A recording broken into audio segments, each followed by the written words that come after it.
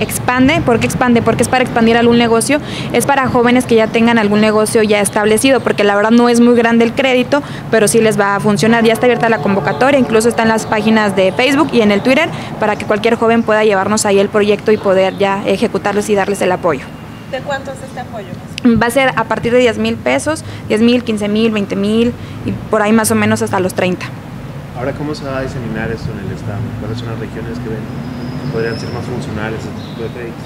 Mira, esos créditos ahorita van a ser aquí en Durango, es un remanente precisamente que dejaron la administración pasada y pues que nosotros tenemos que obviamente hacer uso para no perderlo, entonces por eso estamos trabajando en, en ello y ya se tiene que ejecutar este mes precisamente. ¿Y a cuánto se podría ayudar más o menos?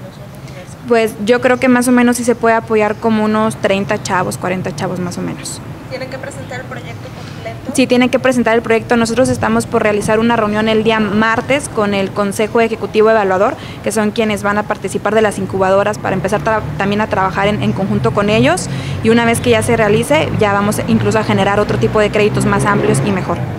Eh, por otro lado, eh, ¿ustedes tienen un estimado o tienen una estadística de cuántos eh, jóvenes pierden la escuela por el tema de embarazo adolescente o en la juventud y que vean truncada la escuela?